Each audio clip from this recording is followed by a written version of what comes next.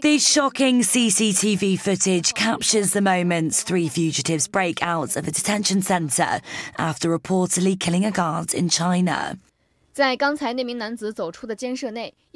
The three men identified as Wang Damin, Gao Yulun, and Li Haiwei, walked out wearing police uniforms at around 4:40 a.m. on Tuesday.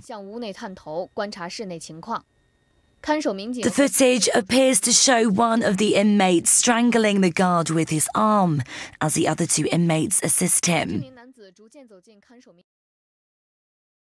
The trio then walked out of the detention centre one by one. Two of the three escapees have since been captured, but Yulun is still at large. The three fugitives, one of whom had been sentenced to death, were unarmed at the time of the breakouts. The other two are waiting to be convicted on charges of intentional injury and homicides.